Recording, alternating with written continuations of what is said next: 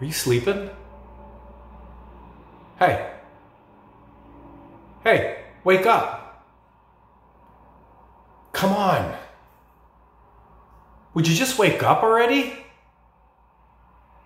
All right. My name is Sam Spataro. Welcome to my channel. If you are new, please hit the subscribe button so we can now welcome you into our community where I make videos that teaches you how to eliminate the villain in us all that comes from all the beliefs and the things that were instilled in us and pushed on us at a very young age from parents, family, friends, schools, religion, society, government, wherever it is that it all came in. It's time to flush it all out and create a new superpower that you can take with you along the rest of your journey in life so you can create a more fulfilling, powerful, goal-oriented, happier, wealthier life. Okay, so the purpose of this video is for you to start waking up. And I include myself in that as well. I mean, if we can go back in time, not even just from a child perspective, the things that are ingrained in us from our parents of who we need to be, how we need to treat other people, you know, um, what our relationship is with money, what types of things we should do later in life, whether it's school or you're gonna go get a job or a trade, how you also learn how to treat a woman or a man in a relationship, how you also learn to treat others, how you learn to deal with problems, whatever it is, I want you all for the first time to wake up. And maybe you've been sleepwalking through 2020. You haven't really been seeing what's going on. Well, let me kind of put a reframe in you from for the last, last seven months. We were shut down from a virus. We had an economic catastrophe. We now also have riots going on around the world. And now we're back to the coronavirus again, and who knows what is next. And so, I heard a really wise quote and it said, stand guard at the door of your mind. And so today, I hope we can break through that paradox. Today, I hope that it can help you to break through that box life and thinking that was created for you so you can really see things for how they are and then best navigate the world so that you can learn to start winning just a little bit more. And so, with media having such a profound effect on us today, and you know what? Media throughout time and history has been used as a tool to either do something really positive or something extremely negative. And so, I kind of want to talk about where we are now, but using a time in history.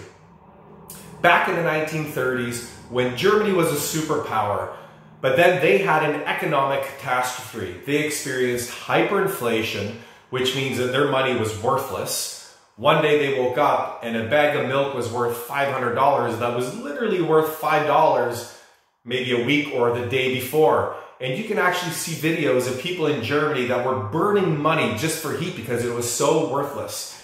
And what happened after that? Well, we know. Uh, they went through an economic depression. And what happens in that process is that the middle class is wiped out. And another key thing that happens is, is when you have a society that is extremely vulnerable, they will follow whoever it is, even if it's not logical, to help them get out of it out of complete desperation. Gerald Celente says, when people have nothing left to lose, they lose it. And what does it have to kind of do where we are today? Well, we all know what happened. Hitler came into power. He started shooting off rhetoric at town halls and all across the nations. It even got thrown in jail and then was released because the people at that point were convinced that he had the way through that hard time. And we all know what happened if we look back in history. And so since my channel is devoted to helping us strengthen our mental health, to free ourselves from the anxieties of the world, which is what's coming in the future, um, the uncertainties, whatever it is that might be there in front of us is we got to kind of stop and take a pause at where we are today. And I'm not knocking anything that's really, you know, going on in the world as far as like movements and, um, you know, a lot, a lot of what people say, because I think that there's one key thing here that we all need to recognize in Western societies is that we had people that have fought for our freedoms, that risked their lives and died on battlefield so that you and I could talk about what we feel, whether someone agrees with it or not. That's the freedom of a democracy is to express oneself without worrying or being fearful of how another person's going to take it.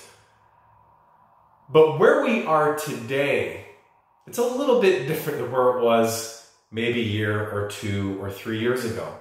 And so that's what I want to talk about. I think it's really important today that we do a couple things. And I kind of want to leave you with this. One thing I really want you to do, because we live in a country and my ancestors fled here from war ravaged uh, Italy back when Germany invaded. And I can remember stories of my grandfather telling him hiding up in the mountains, you know, being shot by German soldiers and drinking water with his t-shirt in a puddle and just eating raw, raw potatoes out of a farmer's field. And so here we are today. It's not like that, but it's a different kind of war. It's a war on your mind. It's a war on your freedom, your thought, your capacity to just speak the way you feel. And what also happens along the way in this is we've separated ourselves into two people. We have the left and we have the right. And that's not the way society should be. In a democracy, we should have peace and freedom and stability, which means that we all have a mutual respect for one another's beliefs, values, religions, purposes, directions in life, whatever it is it might be. And so today, we're headed in the opposite direction. We have people that are running specific groups that are using the wrong context. And yet, in society, you and I both know today, with the things that are going on and that are being acceptable and tolerated, are completely wrong. But yet, we learn to turn a blind eye. And the question is, why? Why is it being perceived this way? Why are we sitting back, tolerating this, when deep down we know that it's wrong? And then there's those on the other side that know that it's wrong and they're fighting for your freedom. They're fighting for their children's freedom, their families, maybe their loved ones that are in the ground who fought for the very ground that we stand on today. And so, here's what I want to leave with you today. There's many things going on, and I, I truly believe deep down in the heart and soul of all of us that deep down, underlying, even though the message might not be good, or maybe our actions might not seem positive, deep down in our heart, we believe that we're doing something good that's going to make a difference. But there is a different way that we can get our point across. How is it? How is it right now that there's certain things that are being tolerated in society? I understand what happened with George Floyd.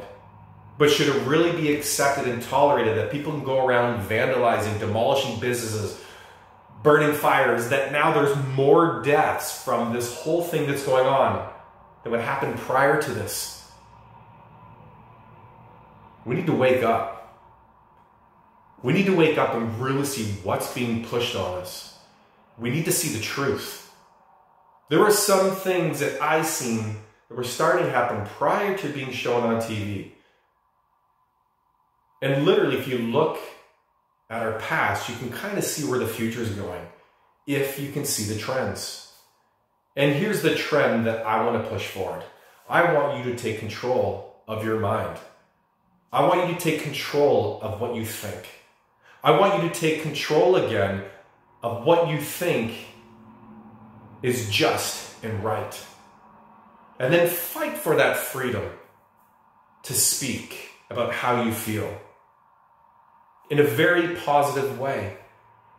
Because if you look at people before us, of all cultures and races, the ones that have had the most profound effect have learned to use this and not this.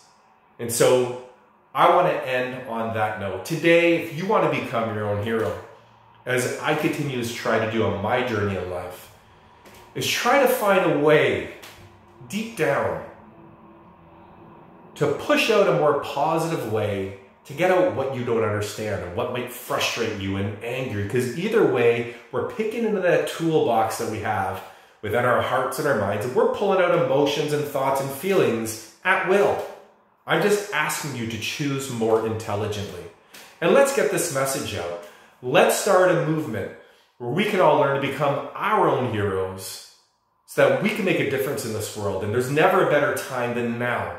I can tell you if you look at the way things are going, it's not going in a very good direction.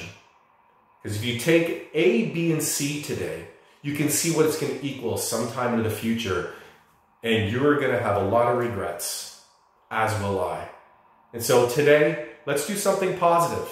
As long as you have air in your lungs, you still have the capacity to make a difference. And trust me, what you do will matter, whether it's to one person or two, as long as we all try to make a difference. If you enjoyed this video, please hit the like button. If you got some comments and some things you can share down below, please do so in the comment section. Hit the notification bell as that will tell you the next time that I'm doing a video. And I could really use support in growing my channel, getting my messages out there. And like I always tell my children at the end of every night, and I'm going to tell you, if you are going to dream today, guys, please, please, please, always make sure that you decide to dream big.